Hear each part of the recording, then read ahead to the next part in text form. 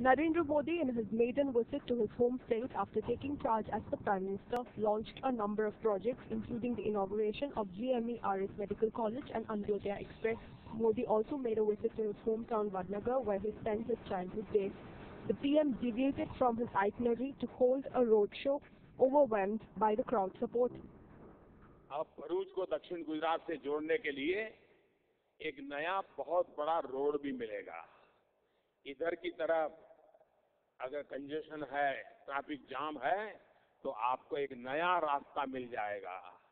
और 20 किलोमीटर रास्ता हजीरा तक जाने में कम हो जाएगा।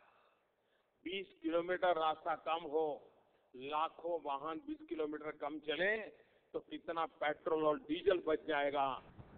Modi's visit comes ahead of the Gujarat Assembly polls towards the end of the year.